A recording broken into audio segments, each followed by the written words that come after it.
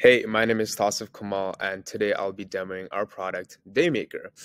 Daymaker is basically a syllabus to calendar converter, where basically you can upload any syllabus that you have for your school, um, and it will create Google Calendar events for you.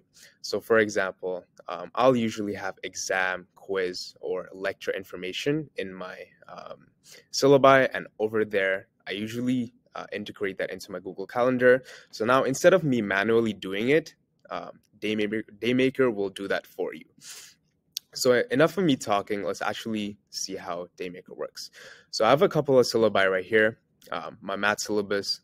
You can see that I have some quiz information with the relevant dates. So um, instead of me manually going to do that, I could just um, upload my math syllabus right here in Daymaker and click go.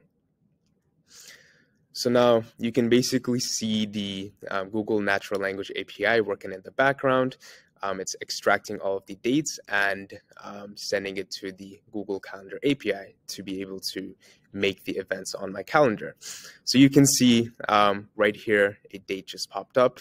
So that's basically quiz three, and I can see right over here that um, a calendar event got created on November 3rd. And yeah, I actually do have a quiz um, on November 3rd. So I was able to do that. And once again, to verify, um, I go back to my syllabus. I can see that I have a quiz on November 3rd. So it doesn't only work with just like one syllabi. I can also um, input, for example, my history syllabus that I over that I have right here. So I'll go back to Daymaker um, and now instead of uploading my math syllabus, I'll upload my history syllabus and click go again. So the Google Natural Language API works in the background. Let's wait for it to finish. Okay, great. Um, it finished.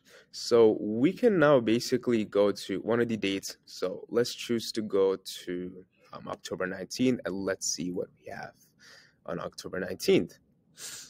Okay, so we had to read Sinclair the Flivver King um, in time for the exam. So if I go back to my syllabus, I can see in October 19th, right here, I would have to read um, this information. So yeah, um, that's basically how Daymaker works. Uh, you just input any syllabus that you have, and it will uh, use the Google Natural Language API to um, extract important dates and upload that to your Google Calendar.